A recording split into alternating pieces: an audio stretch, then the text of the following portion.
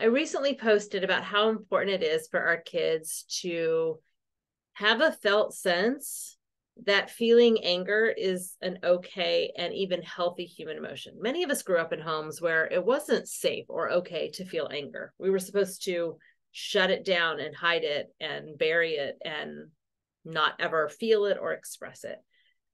Anger is a healthy human emotion that's really appropriate in lots of circumstances. We want our kids to know it's okay to feel angry, but they actually are also responsible for their behavior but they can't get to that point before they're ready developmentally. A lot of kids, when they're in really um, volatile states where they have a lot of anger, can be physically violent or verbally aggressive. Um, and this is not because the child is necessarily choosing to do that. Usually they're not. Usually it's because stress hormones are flooding their bodies, they are dysregulated, and what they need from us in that moment is to co regulate calm them down, keep our bodies safe so that they are not hurting us, of course. Um, but really to say, oh, you're so angry. I'm right here with you while you're angry. And and maybe even ask, what do you need? How can I help? Or even just say, oh, you've got such big emotions. You're just really, really mad right now. I see that. I see that. Um, and we're helping them keep their body safe, keep our body safe, keep other bodies safe, not destroy property, right? So we really want to help provide parameters that allow them to not do damage while they're in that state.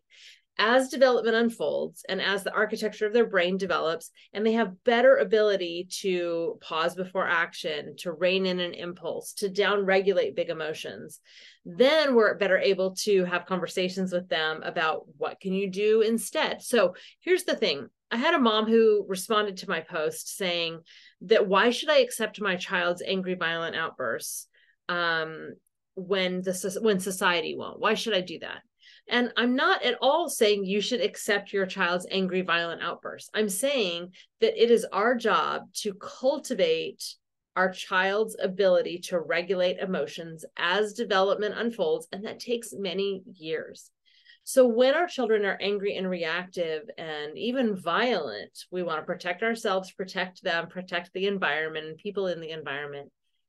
Give them the support to move back to an, a more regulated state. And then when they're back in this more regulated state, we can have conversation with them. It's okay to be angry, but it is not okay to hurt somebody. So what can you do next time when you're that angry and you have that big of feelings because everybody feels angry sometimes that's part of all of the feelings that we have but what could you do next time so that you make sure that you're keeping everybody safe and it might be jumping up and down to let some of the energy out. It might be going outside. It might be taking some deep breaths. It might be yelling into a pillow. There might be lots of kinds of things that can help the child get the energy out without hurting others. Now if you are a parent who has an angry child who is angry a lot of the time, who has a disproportionate amount of anger in response to small little transitions or moments that is kind of ex, you know excessive for what you would expect at their age. Um, if you have a child who is um, violent and it's it's frequent then i would say to you please go seek out some support. Um, I one resource you can have immediately is Ross Greene's book, Raising Good Humans, uh, where he really talks about kids who have really explosive um, demonstrations and manifestations of the, those states of anger or dysregulation. And he's got some really good concrete things in there. So I would check out Ross Greene's book, Raising Good Humans. Um, his previous book was called um, The Explosive Child. Um, and so this is kind of the same content, but more updated. Um, so I really like that as a resource for you. And what I would say to you too is that if you feel like your child's anger and their violence is excessive, talk to your child's pediatrician, talk to a clinical psychologist or a pediatric and adolescent psychotherapist. Um, talk to a developmental pediatrician. We want to make sure that there's not something that's getting in the way of your child's development unfolding.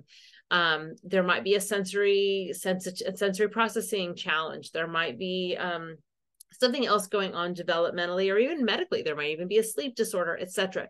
Um, but then it's really important that we seek out help, and the earlier the intervention, the better. So if you are concerned about your child's anger and violence, get some help and support.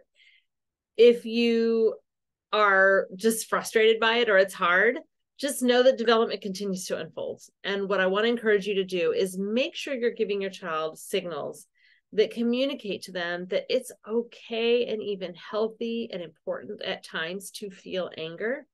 And they are still responsible for handling their anger in ways that are not harmful and that are still respecting the environment, themselves, and other people. And you may need to do a lot of coaching around that, and you're going to need to wait for development to unfold. But it's really important our kids are given the permission to feel the whole range of healthy human emotion, even anger.